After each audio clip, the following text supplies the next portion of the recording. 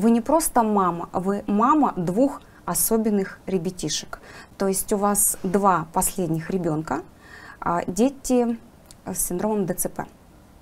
Вот расскажите, пожалуйста, как э, вы об этом узнали, в какой момент вы поняли, что ребятишки действительно будут вот с такими особенностями? Риск того, что такое может быть, э, был понятен, конечно, на момент рождения, потому что родились они раньше срока, с осложненной, так скажем, внутриутробной жизнью своей. Риск этот был, очевиден, да, но никто, конечно, себе никогда не признается и не будет его ждать, да, там, ожидать, что у всех, конечно же, есть в первую очередь а, желание всего этого избежать, не знать подробности, никогда с этим не сталкиваться.